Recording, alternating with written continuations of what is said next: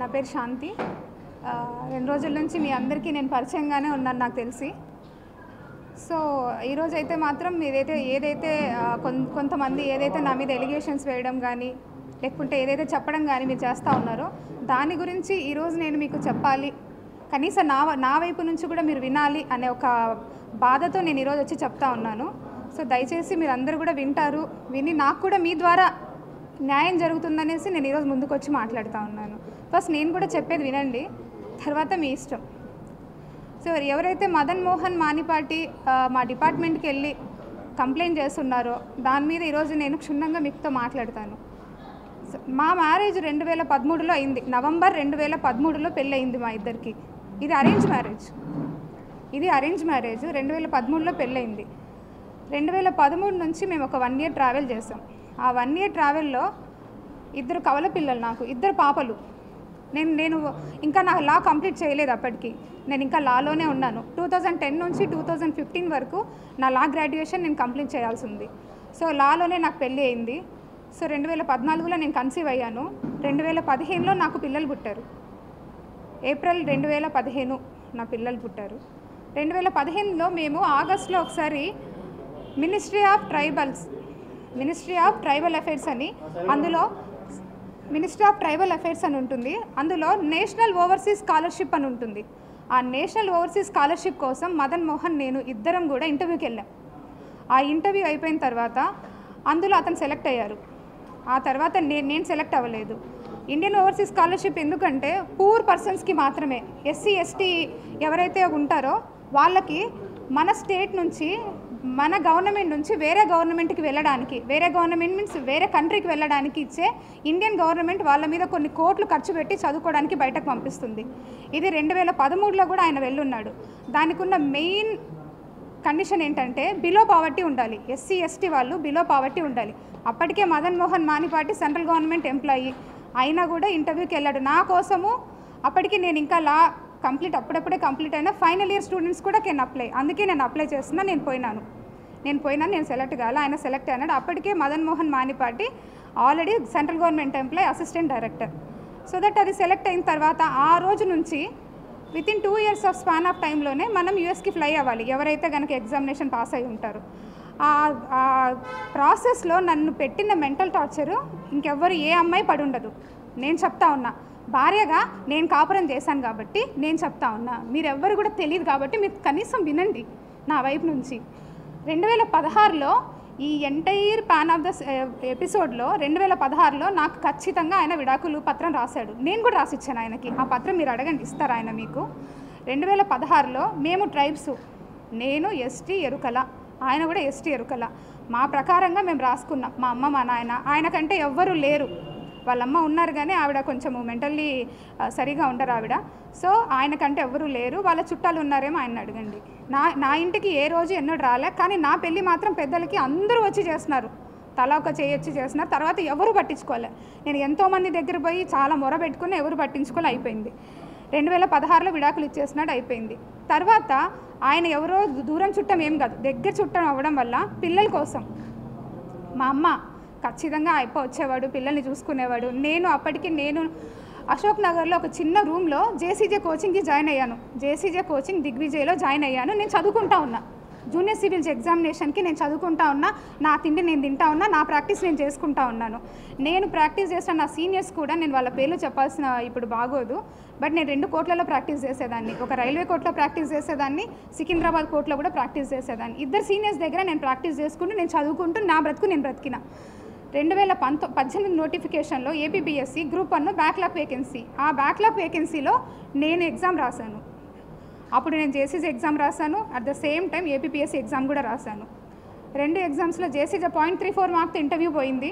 APPSC వాళ్ళు backlog vacancy కాబట్టి ఇంటర్వ్యూకి పిలిచారు. నాకు దేవుడి దయ వల్ల ఉద్యోగం వచ్చింది. రెండు వేల పంతొమ్మిదిలో మదన్ మోహన్ మానిపాటి ఇండియన్ ఇండియా నుంచి యుఎస్కి ఫ్లై అయిపోయాడు. రెండు వేల ఇరవైలో నాకు ఉద్యోగం వచ్చింది. రెండు వేల ఇరవై ఉద్యోగం వచ్చిన రెండు నెలలు మూడు నెలల ఆ ట్రైనింగ్ పీరియడ్లో ఆయన యుఎస్లో ఉండంగానే కోవిడ్ వచ్చింది. సో దట్ కోవిడ్ వల్ల మళ్ళీ రిటర్న్ వచ్చారు ఆయన. రిటర్న్ వచ్చిన తర్వాత నే మాకు కూడా కోవిడ్ వల్ల ట్రైనింగ్ మధ్యలో ఆపేసేసి ఇంటికి పంపినారు. ఒక వన్ మంత్.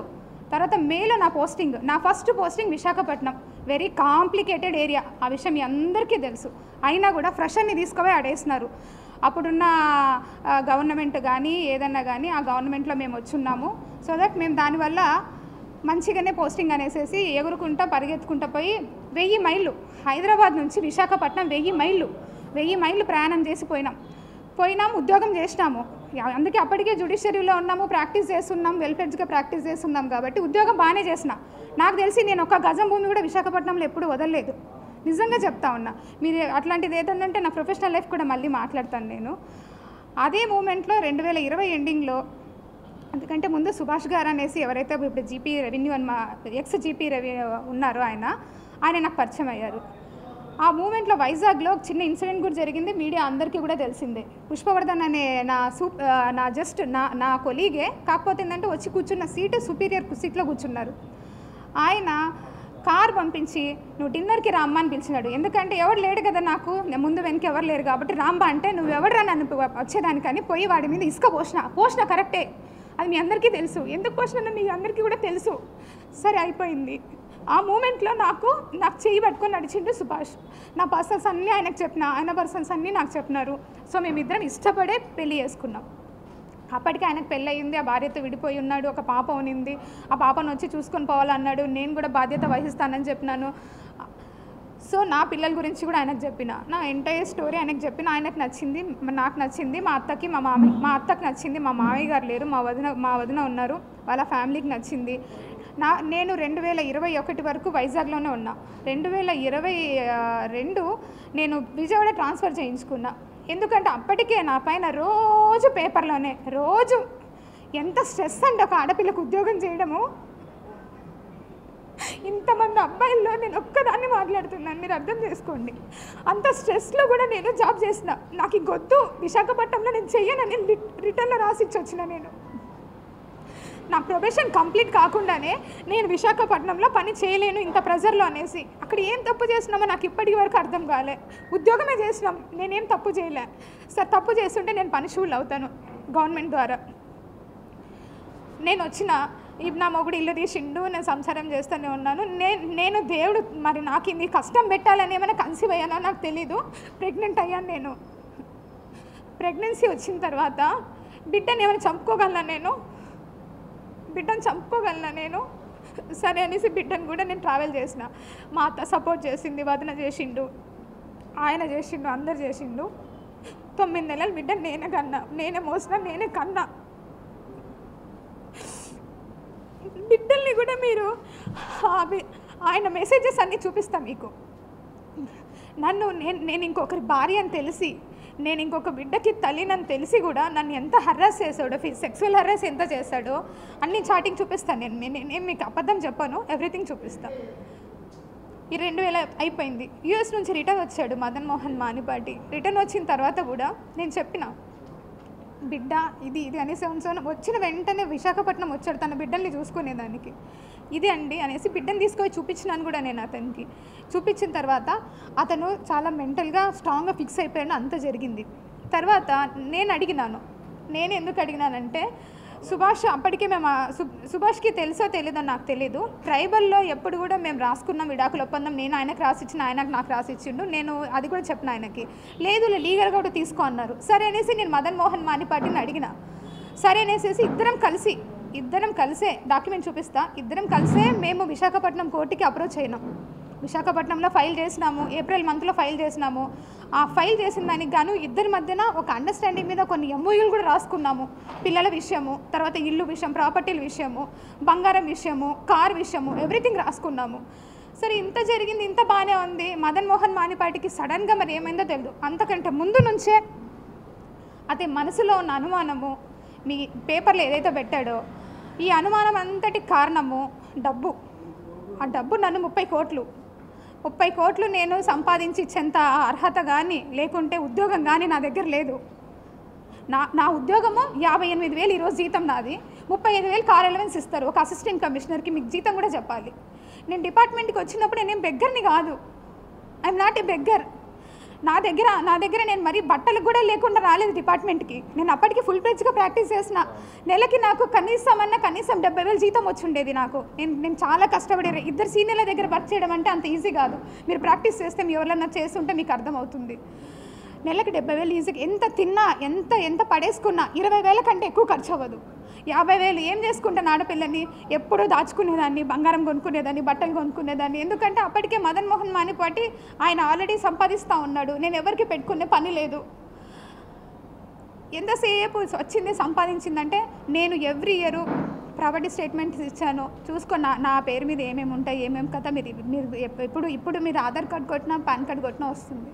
బట్ ఒక్క విషయం ఏంటంటే I'm not a beggar especially ఏంటంటే ఇంత ఇష్యూ జరగడానికి కారణం ఐఎమ్ వన్ ట్రైబ్ నేను ఒక ఎస్టీ అమ్మాయిని కాబట్టి ఇంతమంది నన్ను టార్గెట్ చేశారు. ఇంతమంది అంటే అందరినీ నేను అనలేనండి. నన్ను ఎవరైతే ఇంత ఇంతగా ఎలా మాట్లాడుతున్నారు అనేది నాకు ఈరోజు కనీసం మీరు అన్న ఒక్కొక్కరు చెప్పాలి మీరు. అదే వేరే కులం అవ్వాలని చెప్ప అనగలరా? ఒక ట్రైబ్ అమ్మాయి నేను నేను ఉద్యోగం చేయకూడదా? నేను మంచి బట్టలు వేసుకోకూడదా? నేను నగలు వేసుకోకూడదా? నేను సంపాదించకూడదా? నేను కష్టపడి అడ్వకేట్ ప్రాక్టీస్ చేశానండి. నేను ఎవరి దగ్గర ఒక సొమ్ము లాక్కోలే. నాకు చేతనైతే ఒక పది మందికి ఉద్యోగం కోసం నా నా నా దగ్గర తెలిసిన వాళ్ళని ఎంతోమందిని అడిగాను నేను. ఇప్పుడు ఇంకా- సాయి రెడ్డి సార్ గురించి వస్తే మీకు చెప్పాల్సిన వెరీ వెరీ ఇంపార్టెంట్ ఆయన ఒక respected person Vijay Sai Reddy sir నేను ఫస్ట్ టైం విశాఖపట్నంలోనే చూసిన ఆయన్ని. నాకు చిన్నప్పటి నుంచి ఒక సర్పంచ్ కూడా తెలీదు. మా రాయలసీమలో నాది నేను నంద్యాల. మా రాయలసీమలో ఆడపిల్లలు దేనికి బయటికి పోయి ఊర్లు తిరిగేది? లేకుంటే ఎంఆర్ఓ ఆఫీసులకు తిరిగేది నాకు తెలియదు నేను ఎన్నడూ ఒక సర్పంచ్ని కూడా చూడలేదు. నేను పుట్టి పెరిగినప్పటి నుంచి. ఒక్కసారిగా ఒక ఎంపీ గారు నాకు పరిచయం అయ్యేసరికి అబ్బా ఇలా ఉంటుంది. ఒక ఒక ఉద్యోగము అంటే చాలా చామింగ్గా చేసేదాన్ని. చాలా ఛాలెంజింగ్గా చేశాను నేను. ఫస్ట్ ఫస్ట్ పోస్టింగ్ కదా ఎగురు ఎగిరి ఎగిరి చేసినాం మేము. సో నేను సార్తో ప్రేమ సమాజం అనే ఒక ఇన్స్టిట్యూషన్ ఉంది. అది ఎండోమెంట్ డిపార్ట్మెంట్లో పబ్లికేషన్ అయి ఉంది. సెక్ సెక్షన్ సిక్స్ సి అంటే ఒక అసిస్టెంట్ కమిషనర్ కంట్రోల్లో ఉన్న ఇన్స్టిట్యూషన్ అది. ఆ సమాజంకి ముప్పై ఎకరాల ల్యాండ్ ఉంది. ఆ ల్యాండ్ అంతా కూడా బీ బీ బీచ్ రోడ్లో ఉంటుంది. అందులో సాయి ప్రియ రిసార్ట్స్ అని ఉంది. ఆ రిసార్ట్స్ వాళ్ళు ముప్పై ముప్పై ఎకరాల భూమిని వాళ్ళొక్కరే ఎంజాయ్ చేస్తూ చాలా తక్కువ అమౌంట్ అమౌంట్ నాకు గుర్తులేదు. అప్ టు ఫైవ్ ల్యాక్స్ లోపే ఉంది. చాలా తక్కువ అమౌంట్ని వాళ్ళు పే చేస్తూ ఉన్నారు. అది నా దృష్టికి వచ్చింది. సార్ ద్వారా. సరే అనేసి నేను ఇన్స్పెక్షన్కి వెళ్ళాను. అప్పటికే అప్పటికే నాకంటే ముందు ఒక పది మంది ఆఫీసర్స్ చూసింటారు అలాన్ని కానీ ఎవ్వరు ఎవిక్షన్ చేయించలేదు. నేను పోయినాను.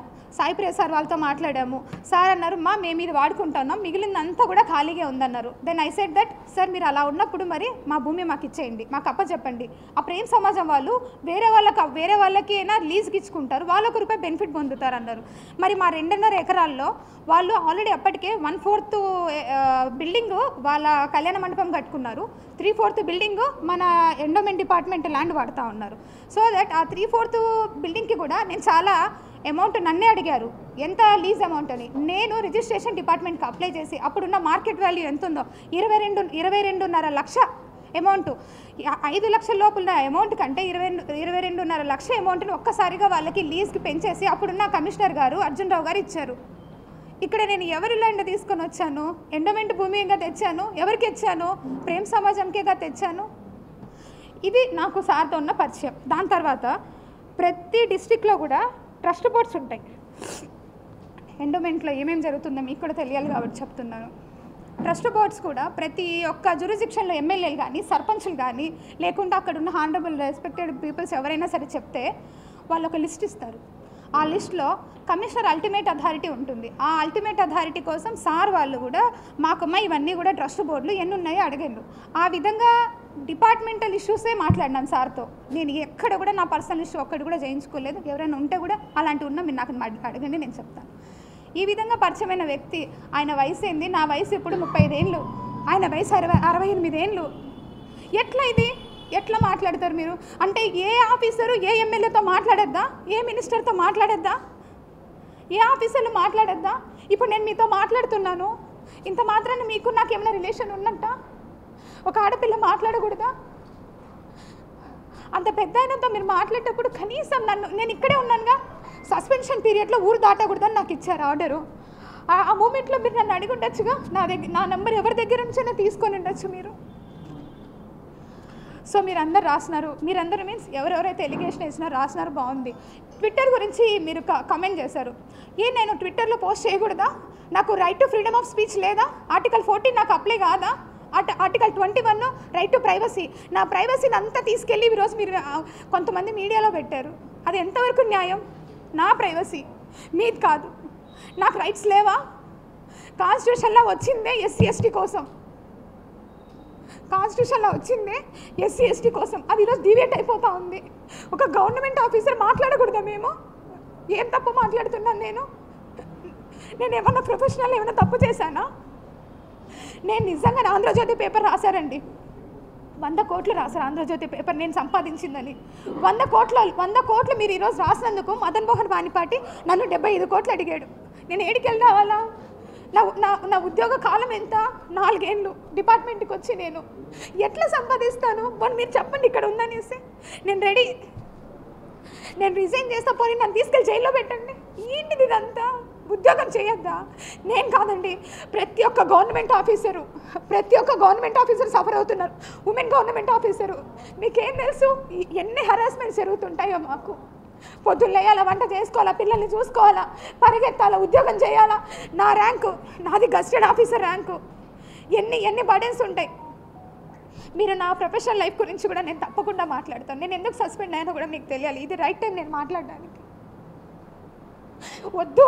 ఒక ఒక స్ట్రైప్ అమ్మాయి ఉద్యోగం చేయకూడదు. అంటే నేను చెయ్యను. నేను చెయ్యను అంతే. మేము మంచి బట్టలు వేసుకోవద్దు. మంచిగా మాట్లాడకూడదు. ఇప్పుడు నా ఎంప్లాయీస్ ఉన్నారు. ఎం ఎంప్లాయీస్కి నేను మిని మీకు మీకు ఒక హైరార్కీ ఉంటుంది. ఎవరికి? జోనల్ జర్నలిస్ట్ ఉంటారు డిస్టిక్ డిస్టిక్ జర్నలిస్ట్ ఉంటారు తర్వాత మీ హెడ్ ఉంటారు ఇవన్నీ ఉంటారు. మీకు ఒక హైరార్కీ ఉన్నప్పుడు నాకు కూడా ఒక హైరార్కీ ఉంటుందిగా. Commissioner additional commissioner regional joint commissioner deputy commissioner assistant commissioner executive officers. ఒక డిస్టిక్ అడ్మినిస్ట్రేటివ్ కంట్రోల్ కింద అందరూ ఎగ్జిక్యూటివ్ ఆఫీసర్స్ ఉంటారు. దుర్గా టెంపుల్ హుండి కూడా అసిస్టెంట్ కమిషనరే కేసు పంపించాలి. ఇది ఒక hierarchy section six A B C అని మూడు ఇన్స్టిట్యూషన్స్ ఉంటాయి. మూడు హైరార్కీలు ఉంటాయి. నేను నా కంట్రోల్లో ఉండేవి అన్నీ కూడా సెక్షన్ సిక్స్ ఇన్స్టిట్యూషన్స్ అంటే బిలో ఫైవ్ ల్యాక్స్ రూపీస్ ఉన్న ఇన్కమ్ ఉన్న ఇన్స్టిట్యూషన్స్ నా దగ్గర ఉంటాయి. నాకు తొమ్మిది ఛార్జీలు పెట్టారు. ఆ తొమ్మిది ఛార్జీల్లో ఒక్క ఛార్జీ నెంబర్ ఐదు మాత్రమే నాకు సంబంధించింది. మిగిలిన ఎనిమిది ఛార్జీలు సెక్షన్ సిక్స్ ఏకి సంబంధించినవి. అంటే రీజనల్ జాయింట్ కమిషనర్ కంట్రోల్లో ఉంటాయి. సెక్షన్ సిక్స్ బి ఒక డిప్యూటీ కమిషనర్ కంట్రోల్లో ఉంటాయి. సెక్షన్ సిక్స్ డి మఠం మఠం కమిషనర్ కంట్రోల్లో ఉంటుంది. నాకేమి లీజ్ అమౌంట్ కలెక్ట్ చేసుకొని బ్యాంకులో వేసే అథారిటీ నాకు ఉండదు. I'm the supervising officer. The assistant commissioner is a district supervising officer. ఎక్కడైనా థెఫ్ట్ జరిగినా ఇమీడియట్గా పోయి నేను యాక్షన్ తీసుకొని దాని మీద కేసు ఫైల్ చేసేసేసి నేను కమిషనర్కి రిపోర్ట్ చేయాలి. ఎవరైనా ఎంక్రోచ్మెంట్ జరిగినా నేను చేయాలి. ఎవిక్షన్ నేను చేయించలేదని నాకు ఛార్జ్లో పెట్టారు. విశాఖపట్నంలో పన్నెండు వందల కోట్ల భూమిని తెచ్చి కలిపాను నేను ఎండోమెంట్ డిపార్ట్మెంట్లోకి ఎన్ని ఎవిక్షన్స్ చేయించామో ఎన్ని కొట్టేసినామో మీకే తెలుసు. అన్ని కాపాడిన వాళ్ళం ఇక్కడ చేయలేక కాదు.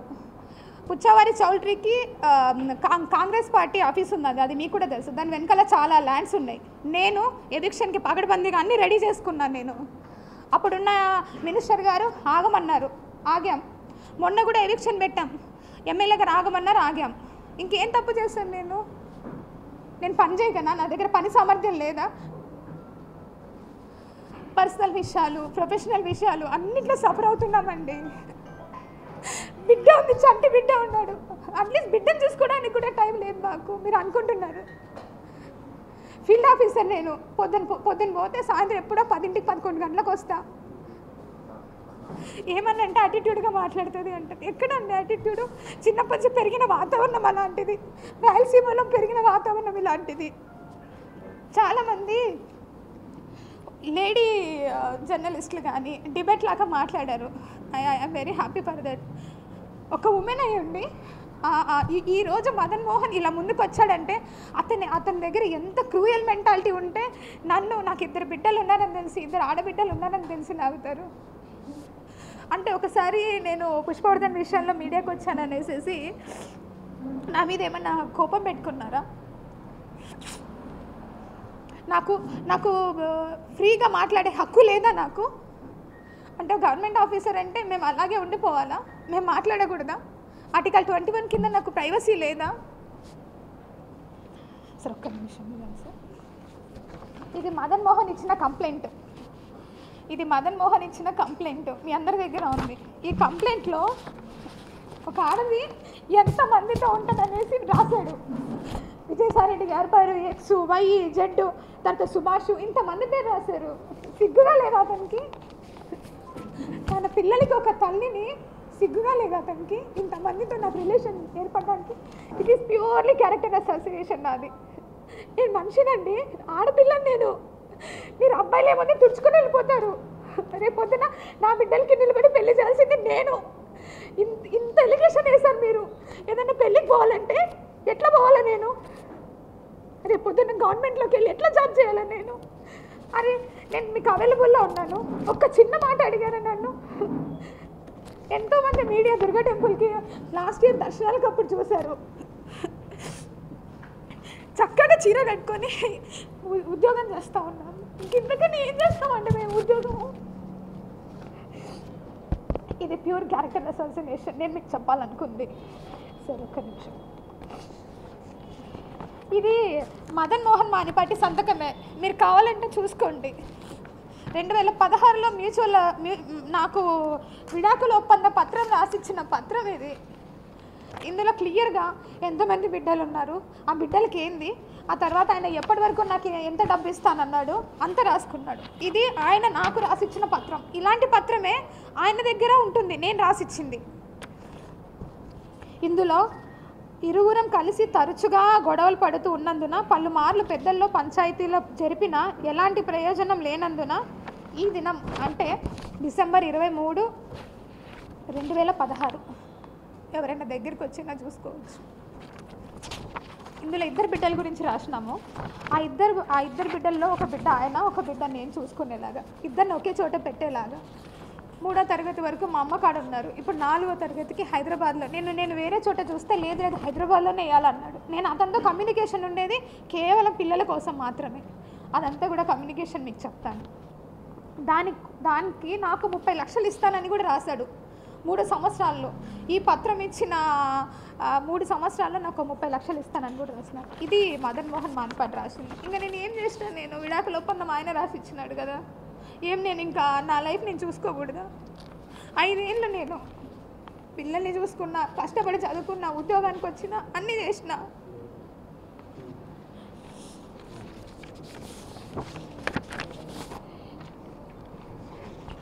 ఇది మదన్ మోహన్ చాటింగ్ చేస్తున్నది నా దగ్గర.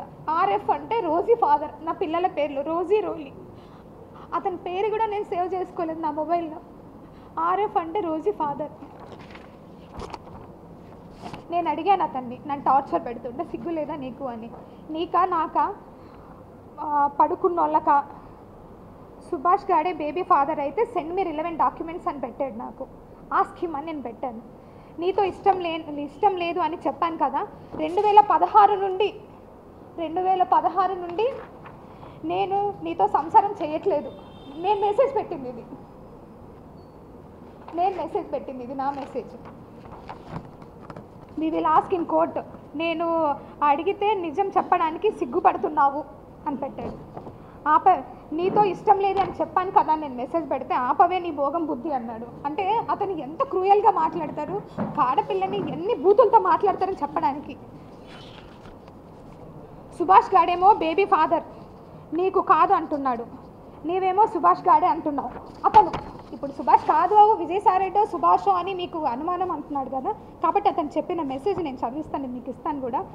Definitely I will crack this suspension soon hence don't waste my valuable time valuable time అని పెట్టాడు. నేను మెసేజ్ పెట్టాను. నీకు మనీ కావాలి అందుకే నువ్వు సార్ పైన పెడుతున్నావు. అమ్మ చూడండి నేను పెట్టిన మెసేజ్ ఇటువైపు ఉంది.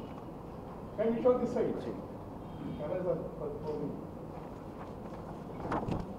Soon truth will come out wait and see నాకు ఇచ్చిన వార్నింగ్స్ నన్ను క్రిస్టియన్ అతను క్రిస్టియన్ అండి బేసిక్గా. నేను నేను ప్యూర్గా హిందూ. నేను ఫస్ట్ నుంచి హిందూనే. ఆయన క్రిస్టియన్లోకి రమ్మని రమ్మని. ఎప్పుడు అంటే నా ఉద్యోగం రాకముందుకు నేను ప్యూర్ హిందూ. ఎందుకంటే నాకు నాకు చిన్నప్పటి నుంచి నేను పెరిగిన వాతావరణం అలాంటిది. కాబట్టి నేను హిందూ బిలీవ్లో ఉన్నా నేను అలాగే ఉన్నాను. నేను క్రిస్టియన్లోకి మార్చాలని నీ ట్రయింగ్ అని నేను పెట్టాను. నేను జాబ్ చేయకుండా నీ దగ్గర దగ్గరలాగా ఉండాలని నీ కోరిక అని నేను పెట్టాను. నాకు గ్రీన్ పెన్ ఉందని నీకు కోపం మీకు కోపం అని పెట్టాను. ఓకే ప్రూవ్ దట్ అన్నాడు. అంటే ఈ చాటింగ్ ఇఫ్ యు పే ఇది దగ్గరకు వచ్చి తీసుకోవాలి sir. If you pay thirty crores I may leave you but not ముసలోడు సుభాష్ డాక్టర్. డాక్టర్ అంటే నాకు గ- నాకు చూసుకున్న personal doctor. It's for sure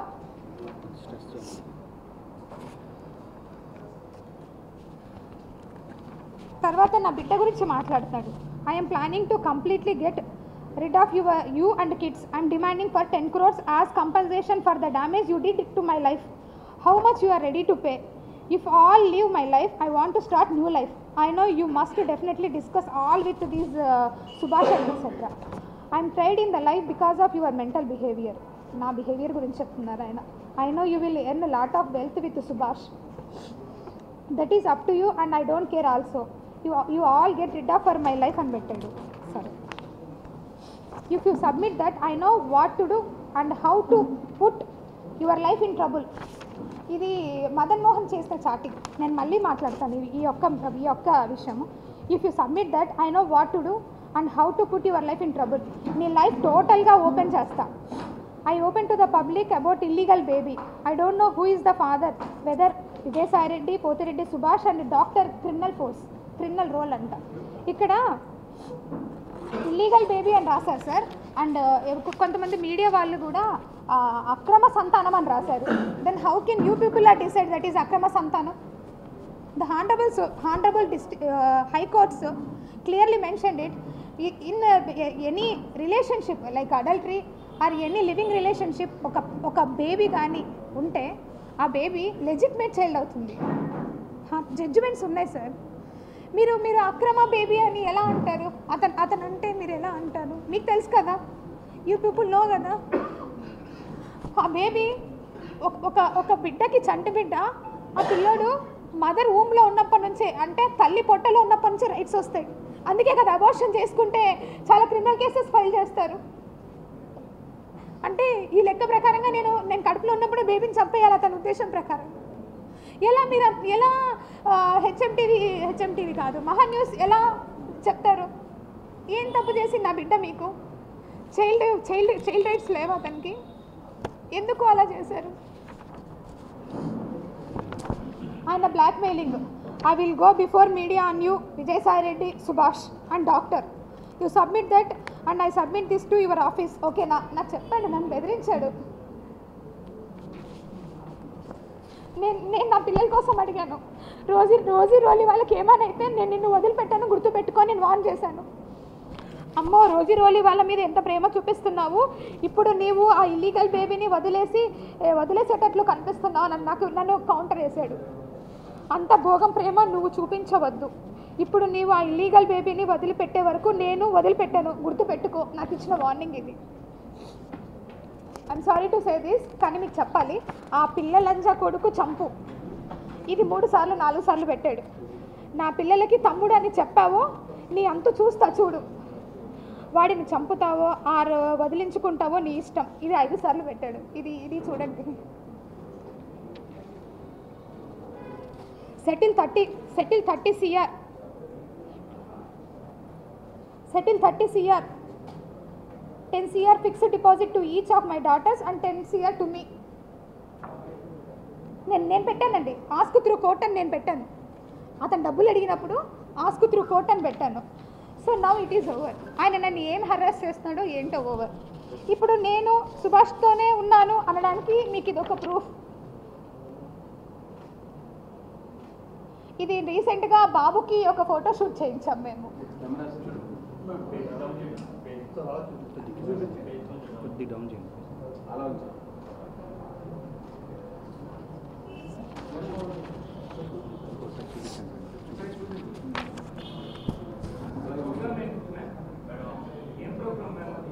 ఇది బేబీకి ఫోటోషూట్ చేయిస్తాం కదా అది. అండ్ ఇంకా బర్త్డే పార్టీ అండ్ మా అత్తమ్మ వాళ్ళు అందరం కలిసి బేబీకి నేమ్ సెరమనీ తర్వాత ఫుడ్ ఫీడింగ్ అన్నీ చేసినాము అది ఓకే అది నేను చూపిస్తాను.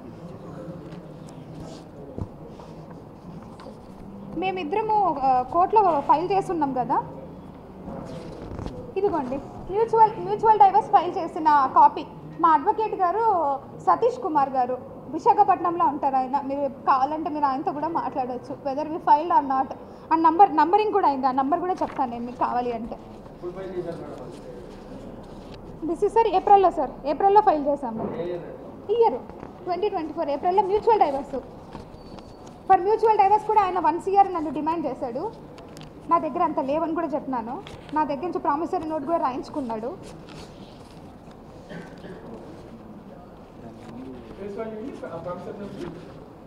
టూ ఇయర్స్ కదా sir? Promissory note face value two years మీకు తెలిసిందే కదా. Fifty thou fifty lakhs rupees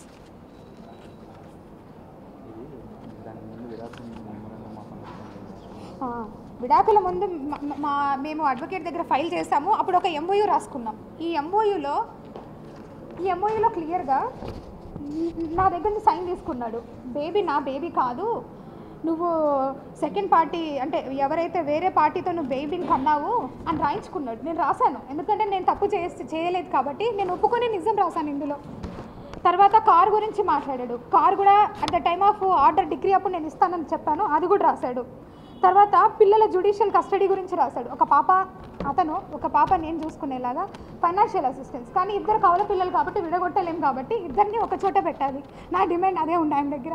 నేను డిమాండ్ చేసిందల్లా పిల్లల కోసమే. ఒక్కటే ఒకటి వాళ్ళిద్దరు కూడా ఒకే చోట ఉండాలని డిమాండ్ చేశాను.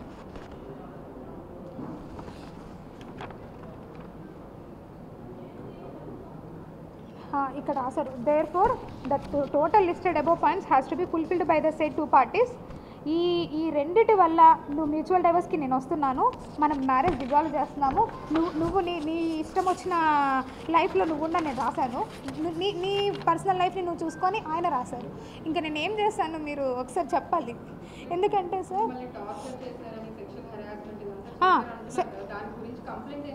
చేశాను. చేశాను. నేను మదన్ మోహన్ పైన ఇది కాదు సార్ ఇక్కడ ఉన్నాయి. ఇందులో నేను ఇంకొకరి భార్య అని తెలిసిన తర్వాత ఇంకొక బిడ్డకి తల్లి అని తెలిసిన తర్వాత కూడా అతను విజయవాడకు వచ్చినప్పుడు నన్ను హోటల్కి రా హోటల్కి రా నాతో సెక్స్ సెక్స్ పార్టిసిపేట్ చేయి అది కూడా ఉంది. అది కూడా ఉంది. నేను నా డిపార్ట్మెంట్కి వెళ్ళొచ్చిన తర్వాత చెప్పాను వెళ్ళాను పోలీస్ స్టేషన్కి వెళ్ళాను. నన్ను మెంటల్గా హరాస్ చేస్తున్నారు అని చేసి చెప్పాను. ఇంత ఇంత మొత్తంలో ఇదంతా స్టోరీ నేను కోర్టు ద్వారా వెళ్ళుండొచ్చు. నన్ను ఇంత ఎందుకంటే నేను కూడా ఒక లీగల్గా ఒక అడ్వకేట్ని నా. నా ఎడ్యుకేషన్ బ్యాక్గ్రౌండ్ బిఏఎల్ఎల్బి సో అందు గురించి నేను నేను ఎందుకు అతని మీద క్రిమినల్ కేసు ఎప్పుడు ఫైల్ చేయలేదంటే నాకు ఆల్రెడీ విడాకుల పత్రం రాసి ఇచ్చేసినాడు ఎందుకు రాసి ఇచ్చేసినాడు అంటే four ninety eight section four ninety eight it's a criminal offence for matrimonial ఇష్యూస్లో మీకు అందరికీ కూడా తెలిసింది. అది వెనక ఒకసారి ఫైల్ అయిపోతే ఎట్టి పరిస్థితిలో పాస్పోర్ట్ రాదు ఎట్టి పరిస్థితిలో వీసా కూడా రాదు. కాబట్టి ఆయన ముందుకు వచ్చి ఆయనదే రాసి ఇచ్చినాడు ఎందుకంటే ఆయన అమెరికాకు పోవాలి కాబట్టి. ఈ అమెరికాకు పోయింది కూడా ట్రూగా ఇల్లీగల్ అది నేను కంపల్సరీ సెంట్రల్ గవర్నమెంట్కి నేను కూడా లెటర్ పెడతాను. ఎలా పోయినారు? ఇండియన్ గవర్నమెంట్ ఒక మనిషి మీద రెండు కోట్లు పెడుతుంది ఇన్వెస్ట్మెంట్. పెట్టి చదివించి పంపిస్తుంది. పోయి చదువుకొని వచ్చిన తర్వాత మళ్ళీ వాళ్ళు ఇక్కడ వచ్చి ఆ రెండేళ్ళు ఉద్యోగం చేయాలా? అది ఓన్లీ బిలో పావర్టీ లైన్కి. మనలాగా గవర్నమెంట్ ఉద్యోగాలు చేసే వాళ్ళకి కాదు. నన్ను ఇంత హరాస్మెంట్ చేస్తున్నాడు.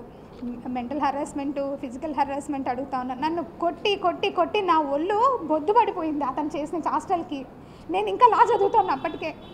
కడుపుతో ఉన్నప్పుడు కూడా కొట్టాడు. ఇంకేంది నేను అతనితో ఎందుకు ఉండాలి? కడుపుతున్నప్పుడే చెప్పిన నేను మా వాళ్ళందరికీ నా నేను ఉండనంటే ఉండను. మీకోసము పిల్లలు ఉండే వరకు నా బాధ్యత కాబట్టి నేను ఉంటాను. ఎందుకంటే ఇంత పొట్టండి ఇంత పొట్ట కవల పిల్లలంటే నా స్విచ్ మార్క్స్ ఇక్కడి వరకు ఉంటాయి. తెలుసా మీకు? అరే ఎట్లా మాట్లాడతారండి అసలు? ఎలా ఇది సాధ్యం? విజయసాయి రెడ్డి సార్ ఎంత పెద్ద మనిషి ఆయన? అరే ఆయన వయసుకి నా వయసు కన్నా తేడా లేదా కనీసం? మహా న్యూస్ అన్నిసార్లు అన్నిసార్లు ఆయన పేరు పెట్టి రాస్తూ ఉన్నారు. అసలు నేను ఇక్కడే ఉన్నా లోకల్లోనే ఉన్నా సస్పెన్షన్ ఆర్డర్లో క్లియర్గా మెన్షన్ చేసి ఉన్నారు ఎక్కడ పోకూడదని. నేను కమిషనర్కి మెసేజ్ పెట్టినా సార్ బిడ్డల్ని చూసుకునేదానికి పోవాలి సార్ అనేసి నేను మెసేజ్ పెట్టిపోతా. అరగంట పర్మిషన్ అయినా సార్కి మెసేజ్ పెడతా నేను. సస్పెన్షన్లో కూడా నేను సార్కి పర్మిషన్ అడిగి నాకు మెసేజ్ పెట్టినా. అంత అన్నిసార్లు అలా ఒక పెద్ద ఆయన గురించి రాస్తూ ఉన్నారు కదా మీరు. రాసేటప్పుడన్నా కనీసం వయసు గుర్తు రాలేదా మీకు? అరే నేను మాట్లాడితే తప్ప? ఇంకెవరితో మాట్లాడాలి మేము? ఓన్లీ లేడీ ఆఫీసర్స్తోనే మాట్లాడని ఒక రూల్ పెట్టండి. గవర్నమెంట్ ఆఫీసర్స్ అసలు మాట్లాడకూడదని కాన్స్టిట్యూషన్లోనే అమెండ్ చేయండి పోనీ. ఒక గవర్నమెంట్ ఆఫీసర్ మాట్లాడకూడదా? ఎంతసేపు మదన్ మోహన్ చెప్పాడు బాగుంది. ఎందుకంటే ముందు వెళ్ళాలి అన్నాడు. ఎక్స్ వై జెడ్ ఇంతమందితో అంటా ఉన్నాడే. నేను అలా ఎలా నేను నేను మనిషినండి ఉమెన్ని ఇష్టపూర్వకంగా నేను ఒక ఒక మనిషితో ట్రావెల్ చేసే హక్కు నాకుంది. నా ప్రైవసీ రైట్స్ అన్నీ మీరు తీసుకుపోయి ఈరోజు పరిచేసుకున్నారు ఇష్టం వచ్చినట్లుగా. నేను చావాలా? నేను చచ్చి నా చావుకి కారణం ఎవరైతే ఎలిగేషన్స్ వేశారో వాళ్ళే అవుతారు. నా బిడ్డలకి వాళ్ళే రెస్పాన్సిబుల్ అవుతారు. ఎందుకంటే బ్రతకడం ఇంకా? తెలిసిన వాళ్ళు తెలియని వాళ్ళు ఫ్రెండ్స్ జాబ్లో చాలా అంటే చాలా చామింగ్గా పనిచేసేదాన్ని. అందరూ ఎంప్లాయీస్ కూడా నేను వెళ్తున్నానన్నా కూడా ఏ రికార్డ్ చూస్తుందో ఏంటో అనే భయంతో ఉండేవాళ్ళు. ఇప్పుడు ఇంకే ఆఫీసర్స్ ముందు వర్క్ చేయాలి నేను. ఉద్యోగం కూడా వదిలేసి వెళ్ళిపోవాలి. గవర్నమెంట్ ఉండదు ఏ గవర్నమెంట్ అన్నా రానియండి. గవర్నమెంట్ ఆఫీసర్కి సంబంధం ఉండదు. ఇప్పుడు మళ్ళీ రీఇన్స్టేట్ చేస్తారు. మళ్ళీ నేను ఒక ఒక ఒక దగ్గరికి ఆఫీసర్గా పోవాలి. అక్కడ లోకల్ పర్సన్స్ చెప్పింది చేయాలి కదా నేను. లేదు లేదు నేను మీకు చెయ్యను అని అంటామా మేము? నేను రిక్రూట్ బై ద గవర్నమెంట్గా అంతేగాని పొలిటికల్ పార్టీస్తో కాదు. అరే నేను ఒక బ్యాక్లాగ్ వేకెన్సీ వచ్చాను. కష్టపడి అంతో ఇంతో మే- నేను కూడా చదువుకునే ఉద్యోగానికి వచ్చాను. ఎంతసేపు ఆంధ్రజ్యోతి పేపర్లో రాసింది? ఐదు రోజులు రాశాడండి వరుస పెట్టి. పొన్ పొన్ నన్ను అడగండి ఈరోజు. నేను ఈరోజు వచ్చాను కదా. ఎన్ని కోట్లు సంపాదించాను అడగండి. ఏమండి ఇంతమంది మీడియా ఉన్నారు? ఇది న్యాయంగా అనిపిస్తుందా మీకు? ఒక ఆడదాన్ని ఇంతగానో వేధిస్తూ ఉన్నారు? అరే మీకు వరుస లేదు ఏజ్ లేదు. ఎవరితో పడితే వాడితో వాడు మాట్లాడుతున్నా కూడా ఒక్కరు ఖండించలేదా అంటే మీరు. నేను అడుగుతాను ఇంతమంది అబ్బాయిల్ని ఇదే మీ ఇంట్లో ఆడబిడ్డకు ఎవరికో జరిగితే ఊరుకుంటారా?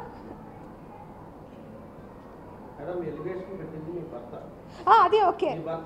మీ భర్త పెట్టిన లెటర్ కంప్లైంట్ ఆధారంగానే వార్తలు వేశారు ఎవరైనా? అవును. ఉమ్, అవునండి. ఇందులో మీడియా వాళ్ళు సొంతగా మదన్ మోహన్ గారు అనే మీడియా వాళ్ళకి ఎవరు పరిచయం గారు. మీ గురించి కూడా ఎవరికి అంత తెలియాలని విషయం లేదు. సో ఇందులో మీడియా చేసిన తప్పు ఏంటంటే ఆయన కంప్లైంట్ పెట్టాడు దేవాదాయ శాఖకి ఆ కమిషనర్ గారికి ఆయన నుంచి- ఆయన కంటెంట్ని చెప్తే ఎలా తప్పుతుందండి ఇప్పుడు మీరు చేశారంటే. వచ్చాడు అంటున్నారు మీరు. అంటే ఓకే. చెప్పుకోవచ్చు. కానీ ఇందులో మీడియా తప్పు ఏంటండి? ఇందులో మీడియా ఏమో వక్రీకరించింది? అందులో ఏమైనా విషయాలు అవును. వక్రీకరించడం. విషయం? నేను మాట్లాడతాను. నేను ఇక్కడ లోకల్లోనే ఉన్నాను. ఒక ఎలిగేషన్ వచ్చినప్పుడు మీకు మినిమం అన్నా మినిమంలో రైట్ ఉంటుంది. అరే ఒకసారి మాట్లాడదాము. ఒక గవర్నమెంట్ ఆఫీసర్ కదా. ఒక లేడీ కదా. Media we have a judiciary sir and Indian Indian గవర్నమెంట్కి కానీ any government any state any కంట్రీకి ఒక జుడిషియరీ సిస్టమ్ ఉంది. ఆ జుడిషియరీ సిస్టంలో ట్రయల్ అనేది జరుగుతుంది. ఇన్వెస్టిగేషన్ పోలీస్ సిస్టమ్ ఉంది. పోలీస్ సిస్టంలో ఇన్వెస్టిగేషన్ జరుగుతుంది. ఇక్కడ ఇన్వెస్టిగేషన్ అంతా నాకు ఈ ఈ రోజు ఎవరైతే ఎలిగేషన్స్ చేశారో వాళ్ళ మీదే. ఎలిగేషన్ని ఎలిగేషన్లా చూపించలేదు మీరు కామా చేయించడం వేరు పులి స్టాప్ చూపించడం వేరు.